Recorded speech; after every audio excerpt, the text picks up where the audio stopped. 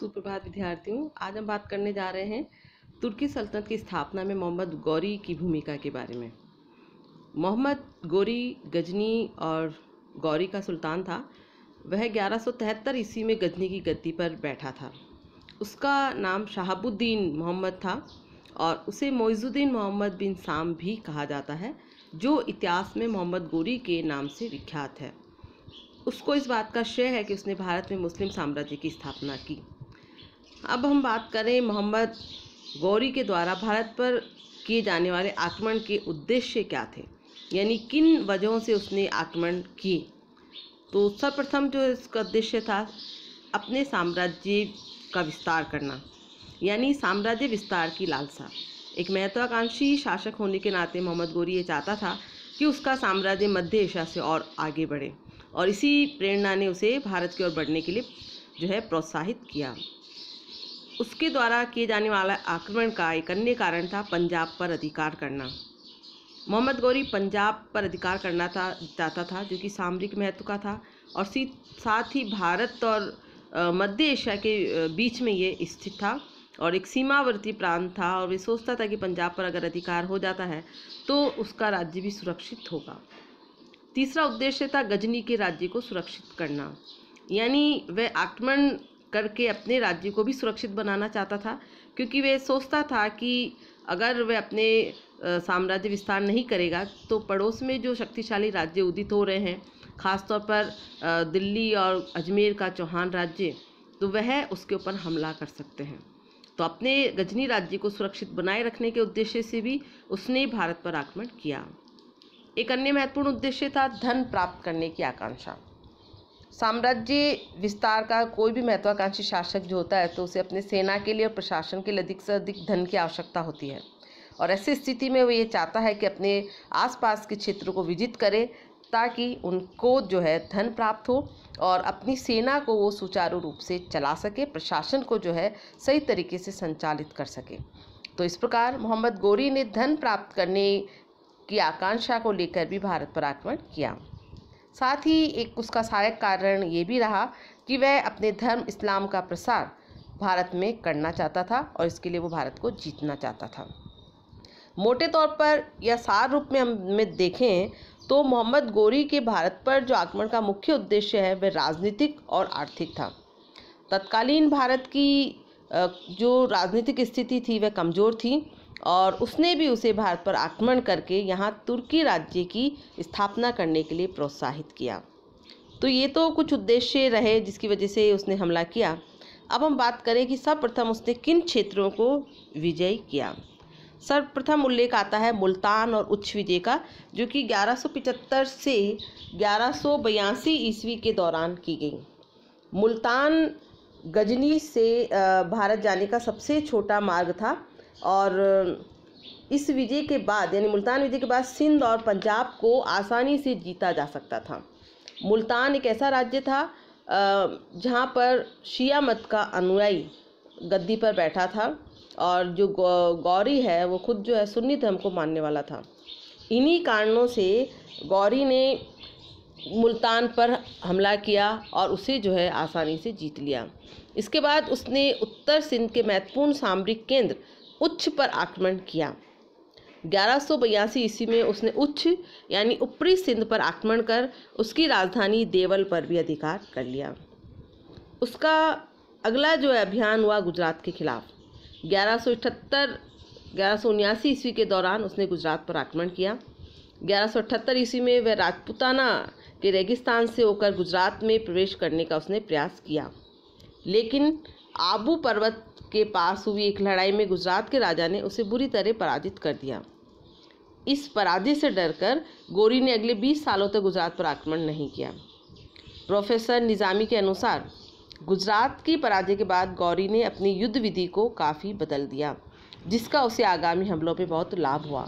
यानी प्रोफेसर निज़ामी कहते हैं कि गुजरात में जो पराजय हासिल हुई मोहम्मद गौरी को, उसने उसकी युद्ध विधि को बदलने के लिए बाध्य किया। और उसका परिणाम जो है उसे आगामी आक्रमणों में मिला। यानी उसका फ़ायदा उसे मिला अपनी युद्ध पद्धति बदलने का।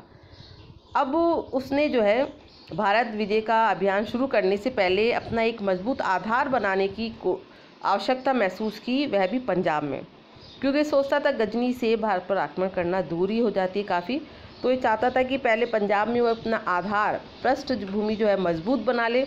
और उसको उस बेस से फिर जो है वो आगे बढ़े और भारत के अन्य क्षेत्रों पर आक्रमण करें। और इसीलिए उसने पंजाब में महमूद गजनवी के अधिकार वाले जो क्षेत्र थे, जिनको महमूद गजनवी ने पहले जीता था तो उन क्षेत्रों के खिलाफ एक मुहिम शुरू की, यानी एक अभियान शुरू किया।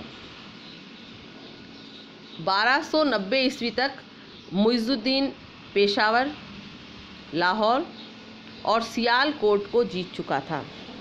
उसने वहाँ पर सैनिक चौकियाँ स्थापित की, रसद आपूर्ति को नियोजित किया, सुरक्षा के लिए किलेबंदी की, एवं इन क्षेत्रों में राजस्व प्राप्ति के लिए जो है कार्य किया। और साथ ही उसने एक सैनिक संगठन भी निर्मित किया। और ये राजपूतों से युद्ध से पहले का जो है एक महत्वपूर्ण सुरक्षा कवच था। यानी पंजाब को जीत कर उसने एक रक्षा कवच का निर्माण कर लिया था। और इसी दौरान हम देखते हैं कि उत्तर भारत में भी घटनाक्रम जो है निरंतर बदल रहा था। चौहानों की शक्ति लगातार बढ़ रही थी। चौहान शासकों ने पंजाब की दिशा से राजस्थान पर आक्रमण करने का, साहस करने वाले बहुत सारे तुर्कों को हराया था और उन्हें मार भी दिया था। और उन्होंने इस सदी के मध्य में तोमरों से दिल्ली, यानी ढिल्ली का, जो कि दिल्ली का पुराना नाम है, ढिल्ली का को भी छीन लिया था। जो कि तोमरों के अधीन थी, तोमर वंश के अधीन थी। यानी अब उनका जो है, क्षेत्र जो है, अजमेर से आगे बढ़कर दिल्ली तक हो गया था। और दिल्ली तक होने का मतलब है कि पंजाब से उनकी सीमाएँ टकराने लगी थी। पंजाब की तरफ़ चौहान सत्ता के प्रसार के कारण अब इस क्षेत्र के गजनवी शासकों के साथ उसका टकराव संभव था। यानी ये स्वाभाविक था कि उनका जो है गजनवी के शासकों के साथ टकराव होगा। और इसी क्रम में हम बात करते हैं तराइन के प्रथम युद्ध की। जो कि ग्यारह सौ इक्यानवे ईस्वी में हुआ था और मोहम्मद गौरी और पृथ्वीराज चौहान तृतीय के बीच में ये हुआ। और ये जो हम देख रहे हैं कि जैसे दो, दोनों शासकों का दोनों साम्राज्य का भी जो विस्तार हो रहा है और दोनों की सीमाएँ निकट पहुँच रही है तो ऐसी स्थिति में इन दो महत्वाकांक्षी राजाओं मोहिजुद्दीन मोहम्मद और पृथ्वीराज चौहान के बीच लड़ाई जो है अपरिहार्य हो गई थी। और ये टकराव होता है तबर हिंद यानी भटिंडा पर दोनों के अधिकार आ, को लेकर। दोनों ही इस क्षेत्र पर अपने अपना दावा करते थे और इन्हीं दावों की वजह से दोनों के बीच में जो है संघर्ष हुआ। चौहान शासकों ने उत्तर पश्चिम में अपनी सीमाओं की सुरक्षा के लिए भटिंडा में किलेबंदी कर रखी थी। मोहम्मद गोरी ने ग्यारह ईस्वी में भटिंडा पर आक्रमण कर उस पर अधिकार कर लिया। इस घटना से जो है चौहान राज्य के लिए खतरा उत्पन्न हो गया। अतः पृथ्वीराज ने भटिंडा पर पुनः अधिकार करने के लिए एक शक्तिशाली सेना के साथ दिल्ली से वह रवाना हुआ। मध्यकालीन लेखक फरिश्ता लिखता है कि पृथ्वीराज की सेना में दो लाख अश्वारोही और तीस हज़ार हाथी थे। भटिंडा के पास तराइन के मैदान यानी करनाल ज़िले में जो सरहिंद के पास है, दोनों सेनाएँ आ डटी। तराइन के मैदान में दोनों पक्षों में घमासान युद्ध हुआ। इस लड़ाई में गौर की सेना बुरी तरह तबाह हो गई। मोहम्मद गोरी की जान भी जो है एक युवा खिलजी घुड़सवार ने बचाई। इसके परिणाम स्वरूप तुर्की सेना में भगदड़ मच गई और वे युद्ध भूमि से भाग छूटे। राजपूतों ने भागते हुए तुर्कों को भी बहुत नुकसान पहुँचाया। गोरी बड़ी मुश्किल से गौर पहुँच पाया। पृथ्वीराज अब आगे बढ़ा और बारह महीने की घेराबंदी के बाद उसने तबर हिंद को जीत लिया। तबर हिंद यानी भटिंडा। पृथ्वीराज ने पंजाब से गोरों को खदेड़ने का प्रयास नहीं किया। शायद उसे ये लगा होगा कि यह भी तुर्कों द्वारा बार बार किए जाने वाले धावों जैसा ही है और गोरी शासक पंजाब पर राज्य करने से संतोष कर लेगा। वस्तुतः तुर्कों के द्वारा भारतीय क्षेत्रों पर किए जाने वाले लगातार आक्रमणों और उनकी बार बार की पराजयों से राजपूतों में तुर्कों का विशेष डर भी अब नहीं रह गया था। और वैसे भी सामंतीन चिंतन प्रणाली में राष्ट्रीय दूरदर्शिता के तत्व खोजना तार्किक नहीं है। यानी मध्यकालीन इतिहास की बात कर रहे हैं तो उस समय अपने राज्य की सुरक्षा ही सर्वोपरि थी। राष्ट्रीय सुरक्षा या राष्ट्रीयता जैसी भावना उस समय जो है खोजना जो है सही नहीं होगा।